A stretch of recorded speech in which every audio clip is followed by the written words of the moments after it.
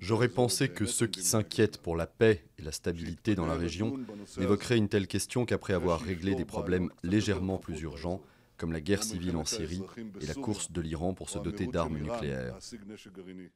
En tant que Premier ministre d'Israël, je ne laisserai personne faire du mal aux centaines de milliers d'Israéliens vivant en Judée et Samarie, le Golan et Jérusalem, notre capitale unifiée. Nous n'accepterons pas de diktat de l'extérieur sur nos frontières.